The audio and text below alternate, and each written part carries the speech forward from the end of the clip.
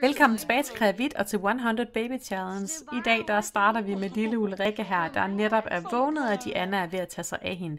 Vi kørte sådan et gårdmarked sidste gang, som I kan se. Vi tog vi lidt chancen med, for vi vidste godt, at Ulrikke hun ville vågne lige om lidt, og at vi muligvis ikke blev færdige med det. Men vi fik, øh, vi fik solgt de fleste af de ting, som vi gerne ville have solgt. Så det var sådan set det ganske okay. Jeg har lovet jer i dag, at vi skal hen og besøge vores barnebarn. Hov, hov, Tilde, du skal ikke lave i blæen. Hvor er du henne? Du sidder simpelthen derude. Ej, hvorfor laver du i blæen? Din lille grise. Ej, hvor er det irriterende. Du skal på potten i stedet for. Du skal da ikke sidde derude og lave i blæen. Ej, hvor er det dumt. Jo, men jeg har lovet jer, at vi skal hen og besøge vores barnebarn Torben i dag, fordi det er nemlig øh, weekend, og vi kan ikke gøre så meget med de her forskellige øh, børn og sådan noget i weekenden. De har læst alle de lektier, de kan, og ja, der er ikke så meget mere i det. Så derfor så øh, lader vi lille Ulrikke her være alene hjemme, og så tager vi altså ud og rejse. Og det er jo nok mor de Anna, der skal sætte os ud og rejse, men jeg kunne bare godt tænke mig, at Tilde hun lige gik ud og fik uh, lavet noget først, fordi bliver hun ikke bare mega beskidt nu? Jo, det tror jeg faktisk hun gør, så vi er nok nødt til lige at putte hende i bad. I kan nok høre, at der er en af børnene, der sidder og øver sig øh, på klaveret, men ellers så er jeg altså ved at få lille Tilde her på potten, og så synes jeg, hun skal spørge sin mor bagefter, om ikke hun kunne få sig et bad også, fordi det trænger hun rigtig meget til. Den her pottefærdighed, den er vi jo tæt ved at få, og så er det det her kommunikation, hun mangler, og det kan hun bare få rigtig meget af, når vi skal hen og besøge hendes lille, øh, jeg var lige ved at sige fætter, men det er det jo ikke. Hun er vel faktisk, hun må jo være faster til den baby, fordi det er hendes far, der, eller hendes storebror, der er far til den. Så det er altså faster Tilde, der skal hen og besøge sin lille nevø Torben. Det skal nok blive rigtig godt, men jeg har sat hende til at øh, bede Diana om at bade hende. Så nu går Tilde ud og spørger mor Diana om det der bad. Og så må vi bare satse på, at det kommer til at virke. Hun sidder jo herinde, som jeg lige var ved at at sige før, men de skal alle sammen virkelig til at komme afsted. Og det er jo bare fedt, fordi så sidder hun ikke og snakker med nogen, når Tilde kommer og beder om det bad der. Behøver Tilde ikke engang rigtig at afbryde, og det er jo godt nok. Hende her, hun er også sådan en fra magiens rige, så vidt jeg husker. Men øh, hun går altså også nu, fordi hun burde også til at komme afsted. Og så giver du lige det bad der, og så skal vi altså have jer hen og besøge lille Torben. Og hun er da sød. Og så giver hun altså badet der, så hun kommer til at få alle de der ting opfyldt, sådan at hun er glad. Der er også et eller andet festival i gang lige nu, eller sådan noget, kan jeg høre på lydene.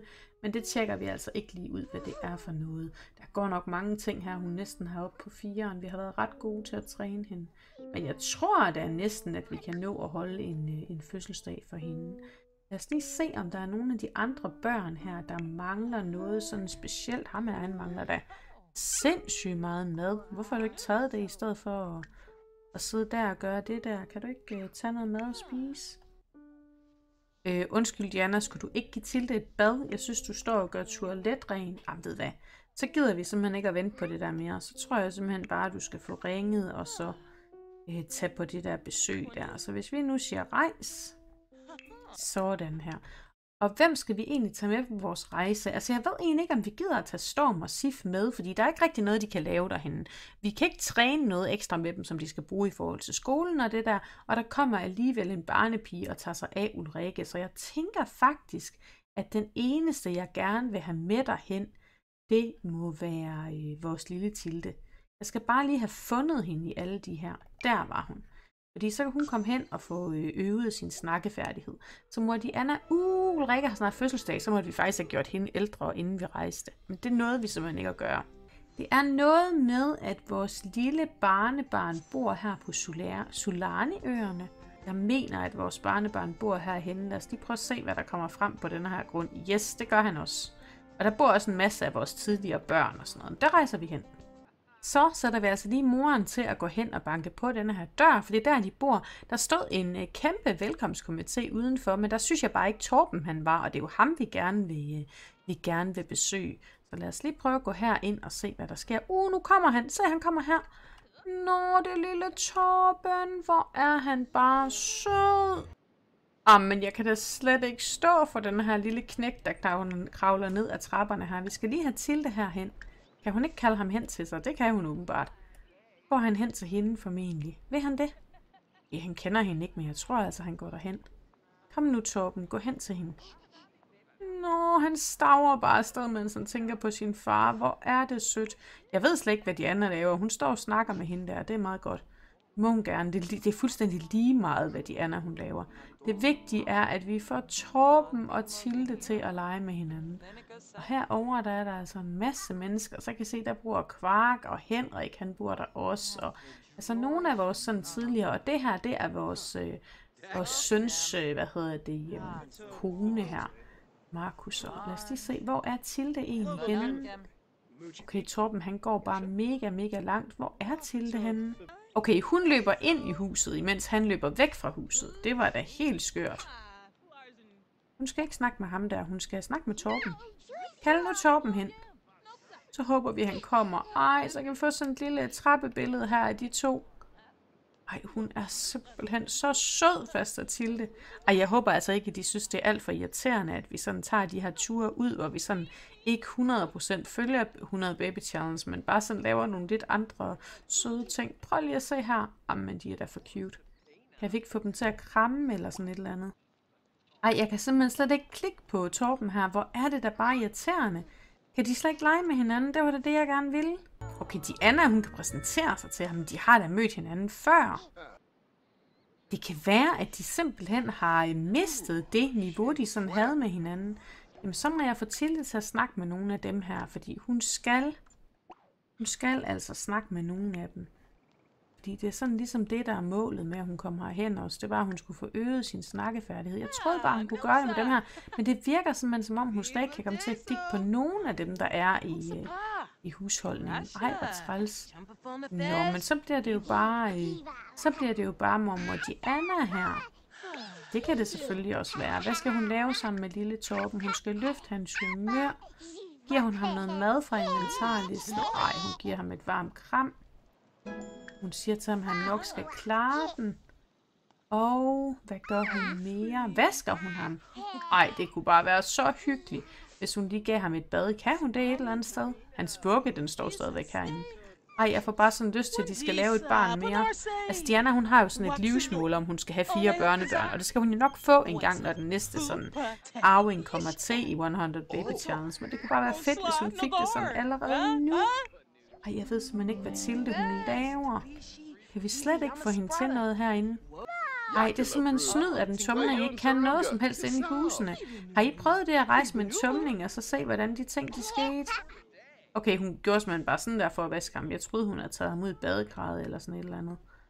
Det gør hun altså ikke. Så siger hun spørgsmålstegn til, hvor der er et. Måske. Det ved jeg ikke.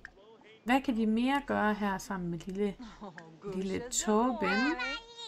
Tumlingeomsorg. Vi kan virkelig ikke få lov til ret meget. Vi kan godt skifte tøj på ham. Ej, hvor sjovt. Vi er sådan bare på besøg, og så kan vi få lov til at skifte tøj på ham. Nej, det gider vi altså ikke. Han er da meget sød, som han er. Hvad sker der, hvis vi tilføjer ham til gruppen? Kan han så lave noget sammen med Tilde? Det kunne altså være fedt, hvis han kunne det. Det prøver vi altså lige som en sidste ting. Og hvis ikke han kan det, så er vi altså nødt til at tage hjem. Har hun tilføjet ham til gruppen, eller hvad? Er han tilføjet til den? Yes, det er han. Så prøver jeg lige at tage Tilde igen, og se om hun så kan noget med ham. Nej, det kan hun ikke. Nå, det er der ikke noget godt ved. Så rejser vi bare hjem. Og så kan vi se, om Torben han rejser med. det tror jeg ikke, han gør, men lad os bare prøve det. Nu rejser vi i hvert fald hjem. Tak for besøget. Det var super hyggeligt. vi ses bare, når de er kommet hjem. De er simpelthen netop vendt hjem, og jeg har opdaget nu, at Diana hun godt kan invitere Torben til at hænge ud herhen hos os nu. Så jeg tænker, nu, øh, nu inviterer vi barnebarnet på besøg. Hvad står der så her? Han kommer lige om lidt. Uh, fedt. Så er det spørgsmål, om han tager sin mor med, eller hvad han gør. Hvem er det, der er kommet her? Jonas Lorentzen, ham kender vi da ikke. Øh, prøv lige at vente, vi skal lige have moren i aktion her, fordi vi skal da lige have en venlig præsentation. Hov, hov, hov, hov, du skal ikke i seng. Hey, hey, hey. Du skal venlig præsentere dig her. Og dit barnebarn kommer også lige om lidt. Altså, så skal du da overhovedet ikke. Vi skal lige se her. Vi skal da have præsenteret os til Jonas. Ham har vi da ikke fået børn med eller noget. Det er da bare med at præsentere os til ham. Sådan der. Kan vi invitere ham med i klubben eller et eller andet? Okay, nu kommer vores, øh, kommer vores barnebarn derover, men vi står altså bare lige og snakker med en fremmed mand, som vi har øh, mødt på, øh, mødt på gaden. Lad os lige se klubber her. Inviter med i klubben. Yes, yes. Så er han med i scoreklubben, hvis han siger ja til det. Og så må vi altså lige gå ind og tage os af lille, lille Torben her. Jeg har smidt uh, Tilde i seng, og vi skal også have gjort uh, Ulrikke ældre, og vi skal have givet hende noget mere snakkefærdighed. Og der er mega mange ting, vi skal i, uh, i det her afsnit. Så det skal nok blive godt, men nu ser vi altså lige, om ham her, han vil med i vores klub. Om han har lyst til det, at være med i sådan en scoreklub der. Det tror jeg, han sagde ja til. Gjorde han ikke det? Jeg ved jeg ikke, kan man ikke undersøge det ved at gå over på klubber her? Invitere med i klubben. Er det ikke det, vi lige er lige nu? Prøv lige at invitere ham med igen. Altså, han skal da med i den klub. Det kan han da ikke sige nej til. Er det fordi, vi ikke kender ham nok, eller hvad? Nu klapper han. Betyder det så, at han vil med? Yes, yes. Er du tosset? Jeg vil vildt gerne være med i scoreklubben. Yes, selvfølgelig vil du det. Nå, vi skal lige ind og have fundet, øh, vi skal lige ind og have fundet lille Torben. Hvor er han gået hen? Hvad laver han? Er der nogen af hans øh, mostre eller sådan noget, der tager sig af ham? Fastre er det jo egentlig. Han snakker i hvert fald med hende der. Det er meget godt. Lad os lige se her. Vi lærer ham lige lidt at kende, og vi løfter ham op, og vi underviser ham lidt i at snakke. Og så håber vi altså, at vi kan nå det, inden vi, inden vi falder helt i søvn. Nu kommer jeg til at klikke hen på hende, det var sådan set ikke meningen. Hun har virkelig ikke meget, hvad hedder det, sådan øh, energi tilbage. Så nu går hun ind, så håber jeg ikke, at hende der den anden, hun snakker for meget med dem. Fordi så kan det godt være, at mormor hun skal være træt og sove eftermiddagslur, imens de der øh, børn de sådan kan, kan lege med hinanden. Det kan godt være, at hun lige skal gøre Ulrike ældre først, fordi så kan hun også være med til det hele. Åh, hvor er de altså bare søde. Jeg elsker lille baby Torben. Han er simpelthen bare... Ej, prøv lige at se, hvor cutie pie han er. Se, nu sidder de her og øver forskellige snakketing. Og så kan hun lige øh, give hende her mad, give hende bryst. Hun kan skifte hendes blæ, og så kan hun lave den her øh, aldersovergang. Skal vi ikke lige tage en super effektiv forælder først, og så kan vi tage den der aldersovergang, fordi så har vi også fået klaret det. Åh, hvor er han bare sød. Jamen, han er simpelthen... Og det er vores første barnebarn. Jeg glæder mig bare til lige så stille og roligt at se ham blive ældre og sådan nogle ting. Det bliver bare godt. Og så snart hun har lavet den der aldersovergang, så må mormor altså godt gå hen og sove. Og så kan de der tumlinge lege med hinanden. Så går hun lige derhen. Hvad vil du så, Torben? Jeg vil ikke få nogen af de andre til at snakke med dig. Altså, kan din farbror ikke komme hen og lave en venlig præsentation her? Og så se, hvordan det bliver. Det tror jeg da bestemt, han kan, mens moren hun gør alle de der ting. Jeg skal ikke sende hende hjem, eller sende ham hjem. Det tænker jeg altså ikke. Jeg ved heller ikke, hvad han kan med flere valg. Hvad kan han med flere valg? Og det var kun de der ting. Prøv at berolige. Ja, ja, det gør vi. Vi beroliger ham. Jeg vidste slet ikke, at han var urolig for at være her. Jeg troede faktisk, at han godt kunne lide at være her. Og så får lille Ulrikke også lov til at blive ældre. Og hvad bliver hun for en baby? Vi trykker bare her. Hun bliver uafhængig. Det er godt nok, fordi så kan hun ret hurtigt selv gå på potten. Øh, okay. Ligner det ikke mere en dreng, det der? Altså, og er det ikke en lidt stor baby et eller andet sted? Der er der ikke forskel på højden på dem. Nå, hun har briller. Hold da op, jeg synes altså, hun ser stor ud, den tumling der. Men okay, når hun står nede ved sådan noget Torben, så er det måske alligevel ikke så galt. Hvad kan vi sætte Ulrike til? Hun er mega, mega sulten. Har vi noget mad, vi kan give hende? Det ved vi ikke. Vi sætter hende lige her ud og tegner med lama i første omgang. Hun har fået noget gåbevægelse. Det er fint nok. Hun bare spise noget kage. Ej, hun er altså stor nok i forvejen. Det synes jeg ikke, hun skal. Vi siger lige åben her, og så tager vi lige denne her ud. Fordi så kan hun nemlig gå hen og få noget at spise af den. Og så bliver hun ikke, øh, ikke alt for sur. Vi lader hende lige øh, gøre det der en lille bitte, et lille bitte stykke tid. Det virker altså som om hende til det. Hun ligger og prutter i blæen igen. Ej, hvor er det bare irriterende. Hun skal gå ud på potten, skal hun. Uh, går på i Torben selv ud på potten, eller hvad har han tænkt sig at lave? Okay, han vil simpelthen, øh, han vil lige ud og rode i toilettet. han kan bare komme og lære de andre tumlinge nogle frygtelige unoder. Ej, hvor er det fedt. Ej, det er altså godt, synes jeg. Jo, men jeg tænker, ham her, han kommer lige ud til ham og løfter ham i hans humør og lærer ham at kende, og hvad kan han ellers gøre? Hov! Jeg burde virkelig se at komme afsted. Tak, fordi du vil hænge ud. Vi ses senere. Bum, så er han bare trylleryl væk fra toilettet af.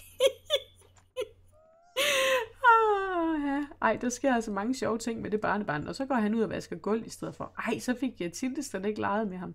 Nå, pyt nu være med det. Men vi skal altså seriøst have arbejdet på hende her Tilde, fordi hun skal altså have sine færdigheder op på de niveauer, de skal have. Og det er det her med, at hun har 86 i potte, og så mangler hun det der talefærdighed. Så vi skal have hende til at tale med sine søskende, så snart hun er færdig på denne her potte her. Og ved du hvad, Frederikke, eller Ulrikke, du må gerne gå ud og tage noget og spise. Du har allerede sådan fået et i alle de der forskellige. Hold nu op, hun er da også monstervred, hende her Ulrike. Hun skal da i den grad have noget at spise. Kan du så se ud og få noget at spise? Min søster herude, hun sidder bare og tegner. Det er sådan set meget godt. Det er altså træls, hun ikke rigtig har nogen ekstra opgaver eller skoleprojekter eller noget som helst, hun kan lave. Det tror jeg virkelig ikke, hun har. Nej, det har hun bare ikke. Altså, hun har en iPad. Men hvad kan hun overhovedet lave på den? Ingenting. Nå. Men så må hun jo placere den her i inventarlisten. Nej, sommerarbejde hun skal fortsætte med. Har hun, øh, har hun bare lavet det ligge der? Fortsæt med efterårsarbejde. Ej, kan hun slet ikke samle noget af det op i inventarlisten? Hun gør bare ingenting færdig. Hun er sådan øh, totalt sådan en, der ikke gør tingene færdig. Hende her, hende skal vi lige have ud og sige, snak om superhelte. Hvad kan hun egentlig snakke om? Snak om prinsesser, og hun kommer til at drive den her øh, søster her til vanvid, fordi hun vil bare snakke om alting. Snak om yndlingsfarve. Hvad kan hun ellers snakke om? Forsvind, og sådan noget, hende der store søster, hun har lyst til at sige. Ej, jeg tænker, at det her det er fint, så får hun lige snakket om alle de her forskellige færdigheder. Det er faktisk med storebroren, hun gør det. Okay, jeg synes ikke lige helt, jeg får ramt de rigtige hernede. Det er også lige meget. Hun er gået på toilettet, hende her. Hvad kan vi egentlig få hende til? Hun kan så til gengæld placere den der i inventarlisten. Jamen, det skal hun da have lov til. Nå, lille Tilde. Du er bare sur, eller hvad? Hvad er det, hun gerne vil? Hun vil gerne græde, men det skal hun ikke. Hun skal ikke græde. Hun har det overhovedet ikke sjovt, og hun er mega sulten, og der er alle mulige ting i galt. Men hun skal bare have øh, nogle færdigheder. Det er det eneste, det kommer ud på. Hun mangler 6% på den der potte, og hun mangler kun 2% der. Hun kan lige få lov til at spise en tallerken fuld et eller andet, og så skal hun altså ud. Yes, nu har hun fået det der snakke, halløj. Nu behøver du ikke snakke med ham mere, så skal du egentlig bare ud og lave noget på potten, men det kan du ikke lige nu. Så du kan lige, øh, du kan lige skynde dig og spise det der mad der, og så kan du muligvis noget derefter. Så kan mor Diana lige komme op, og så kan hun lige sige åben her. Og så skal vi lige se, om vi har en kage, der er helt ser ud til, at vi har tre halve kage, kager. Øhm, kan vi puste lys ud på den her? Nej, det kan vi ikke. Så tænker jeg, at vi sætter hende herover i stedet for. Ej, du skal altså ikke tage alt det kage. Du skal lige... Øhm, kan du ikke smide det her væk? Det kan du ikke, så står der bare kage over alt nu. Det var sådan set ikke meningen. Nå. Lad os i stedet for lige sige til dig, at du skal lave mad, og så det du egentlig skal lave, det er, at du skal lave en ny chokoladekage, fordi så kan vi nemlig få fødselsdag. Og så prøver jeg lige at få smidt de her kager ud imens. Er noget med, at vi slet ikke engang har en skraldespand i det her køkken her? Det var da et underligt køkken. Det tror jeg simpelthen ikke, vi har. Mor Diana, er du glitset ud på det der chokoladebagkagning? Bagkagning? Er det ikke noget med, at du skulle, øh, du skulle kaste op, og så synes du åbenbart ikke, det var så lækkert at stå og lave kage? Det er også forståeligt nok. Øh, jeg kan ikke forstå, at vi ikke kan smide den ud. Altså, vi skal have en skraldespand. Jeg er simpelthen nødt til lige at sætte en skraldespand herovre ved sådan et køleskabet. Det kan da godt være. Så fik jeg lige placeret en skraldespand her, så vi kan smide alle de her kager ud, hvis ellers de gider at komme ud. De er bare sådan rimelig glitset. Prøv at se, de flyver bare op over skraldespanden. Sådan der. Det kan godt være, det er, fordi jeg har sat den på en lidt underlig måde. Godt, så skal vi lige, Diana, for jeg tror altså ikke, at du kan putte lys i kagen her. Kan du det? Tilføj fødselsdagslys, det kunne du faktisk godt. Så lader vi dig lige gøre det. Sådan der. Og så ser vi lige på Tilde, hvordan hendes færdigheder nu ser ud. Hun har det rocker, rocker dårligt, men hun mangler faktisk kun den der pottefærdighed. Så hvis vi nu lige får hende ud på den potte der, hun græder og alt muligt. Det er lige meget. Nu skal hun bare gå på potten, fordi hun skal blive ældre. Og hvor meget mangler hun på den pottefærdighed der? Der mangler hun 6%. Det håber vi så, hun kan få. Jeg har også lige smidt dine øh, store søskende i seng, fordi de trænger altså virkelig, virkelig meget her til at sove. Fordi det er det, der ligesom kan få dem til at blive gode nok i morgen. Det ser underligt ud med den bar her. Prøv at se, den har sådan næsten gemt sig ind i væggen på en eller anden måde. Hun er så træt, og hun mangler så meget sjov. Jeg skal simpelthen bare lige have en til at have den sidste procent her i potten. Og jeg har altså prøvet nogle gange, at det glidte sig ud, men nu fik hun den, og så er hun simpelthen øh, bare tilpas i den. Og så tager vi lige moren her, og så ser vi hjælp med at puste lysene ud, hvis hun kan det. Hjælp med at puste lysene ud, og det bliver Tilde Skot. Så når vi nemlig lige at få en øh, aldersovergang i det her afsnit også. Og det er jo super, super godt. Diana, hun er også selv sulten, så jeg tror også snart, de har fået aldersovergang her, så skal de nok øh, begge to have en lille bitte smule at spise. Og hvad laver du egentlig, Ulrike? Har vi overhovedet styr på dig? Du er sulten, og du trænger til at komme i seng. Kan vi ikke lige se åben her? Og så lige trække noget mad ud, sådan at du har muligheden for at få det. Så kan vi lige sige sådan der. Tag en portion. Åh, så er der fødselsdagsfejring. Og hvad bliver hun? Nå, hun blev hundeelsker. Ej, hvor fint. Og så skal vi vælge et eller andet til en her, og der vælger vi noget kreativt. Det er meget godt. Så er hun simpelthen blevet ældre, og så skal hun jo et eller andet sted bare gøres klar til at kunne komme i skole. Og det hun rigtig meget har brug for, det er søvn. Så lad os lige gå ind og finde en seng til hende her. Bum, i seng med dig. Og så kigger vi altså lige tilbage på Ulrikke. Hun tog noget at spise, og det gør moren også. Hun tager også en portion. Vi skal altså virkelig seriøst have lille Ulrikke her puttet i seng.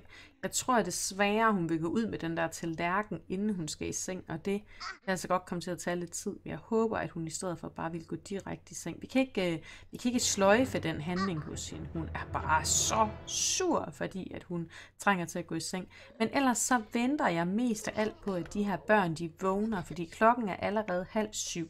Og det er lidt vigtigt at få dem i skole i dag, og også at få dem i skole i sådan nogenlunde godt humør. Og der er lige et par ting, de skal nå inden da. De skal have lidt at spise, og de skal på toilettet og i bad og sådan. Det er cirka det, de skal. Og det er jo klokken 9, vi skal have dem til at komme i skole, så vi skal i virkeligheden have dem op lige om snart, hvis vi skal nå at have dem i skole. Fordi det vil jeg rigtig gerne nå, inden jeg øh, afslutter det her afsnit. Så jeg tænker, jeg tager lige Ulrikke op nu, hvad jeg lige vil sige. Jeg tager lige Sif op, op nu, og så lader jeg altså lige Storm sove en anelse mere, inden han kommer op, fordi så kommer de ikke til at gå i vejen for hinanden på de forskellige ting, de skal. Det vil nemlig være lidt irriterende, hvis de gjorde det sådan der. Og moren sover stadigvæk, og jeg håber, at hende her, hun er gået i seng. Er hun det? Yes, det er hun. Jamen ved hvad, så tror jeg faktisk, at det er øh, tid til at sige øh, tak for i dag. Det har som altid været rigtig, rigtig hyggeligt, at I havde lyst til at se med her på 100 Baby Challenge. Vi ses jo bare til øh, næste afsnit igen. Kan I have det rigtig, rigtig godt til, til, til på det tidspunkt. Hej hej.